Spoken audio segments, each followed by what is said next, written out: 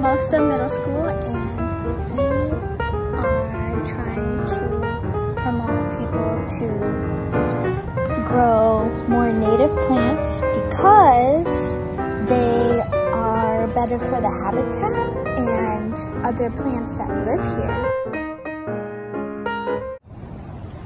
So we've been studying the Everglades and how to conserve it. And we've learned about habitat loss and how that's a big problem. And we want to teach people how they can cause an impact in their very own garden. So we're planting a demonstration garden right here. Um, having planting native plants like these can help our environment by bringing in more pollinators and uh, plants give us oxygen, so we really need them to survive as humans. And since native plants in Florida are starting to decline, um, we can help it. Well, we can help raise the amount of them Good. Here okay. Now put the good soil. A little more. Got it. Good. Exactly. Not too much. You're perfect right now. You want to put some good soil in there. Wait, wait. Terra strings Bro, you're putting it. Can I borrow the uh, shovel again? Lala, can I get the shovel? Yeah, it's right there.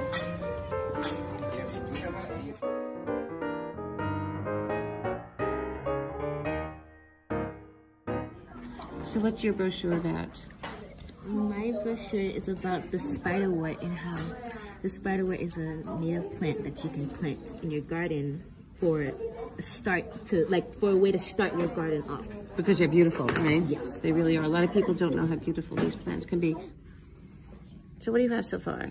um, I have my brochure about native plants So the cover is the right side. Okay.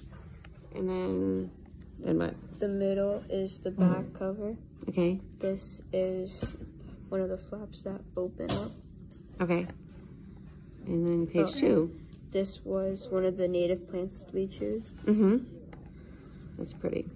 and then here are some questions and answers And you have the website. and we have the website here Perfect. So people can learn more. And then that's like a few Examples? examples. And then this is our credits. And then how to grow your garden is all there. Awesome. Native plants are important because we're not gonna have like we don't want invasive plants because they're gonna take over.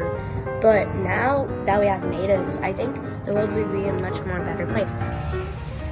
Why should you plant natives? Native plants provide conservation benefits that others rarely measure up to. Native plants harvest the sun's energy to create plant material. This material helps provide for the wildlife.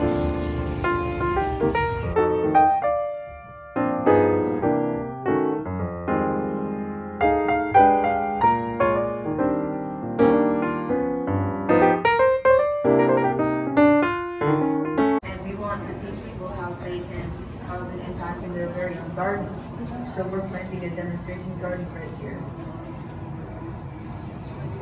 Here at Plumosa School of learning about the Everglades and how habitat loss is a big problem in the Everglades. And we've also been learning about native plants and how they can be Native plants harvest the sun's energy to create plant material. This material helps provide for